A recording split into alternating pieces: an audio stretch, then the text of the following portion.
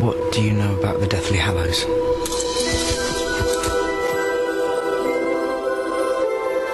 It is rumored there are three. To possess them all is to make oneself immortal.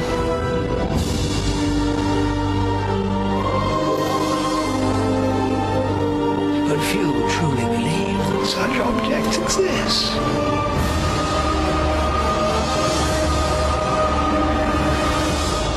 If it's true, you really don't stand a chance.